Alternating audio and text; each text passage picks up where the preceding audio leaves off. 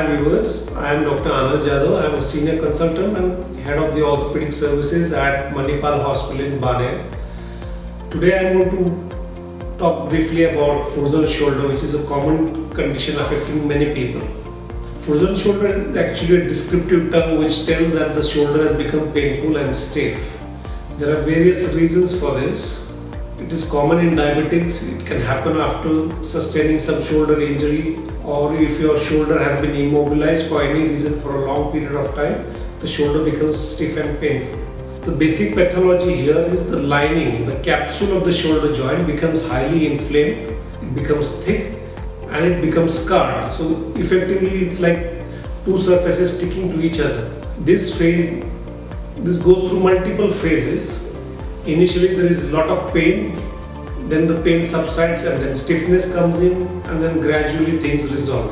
Frozen shoulder, very common in diabetics, those suffering from epilepsy, those having thyroid problems, either hypothyroid or hyperthyroid, and people with cholesterol problems.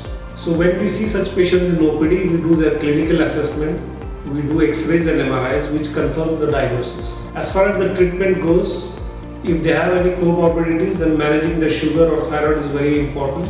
Initially, we give them painkillers. We ask them to modify certain activities of daily living. And if that is not helpful, we inject steroid into the shoulder and the subacromial space above the shoulder joint.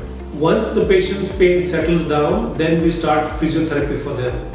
A common mistake is to start physiotherapy while the pain is on. That is counterproductive and the patient pain aggravates because of such measures.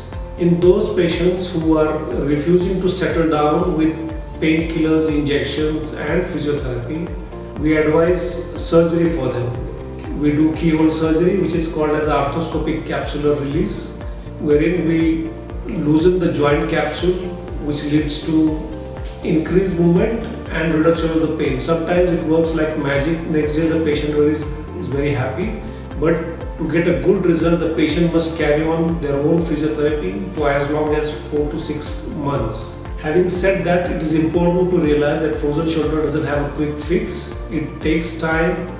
No matter what route you have taken, it will take you at least 6 to 9 months to settle down. So if you have any shoulder related problems or any joint related problems, do visit us at Manipal Hospital in. Thank you.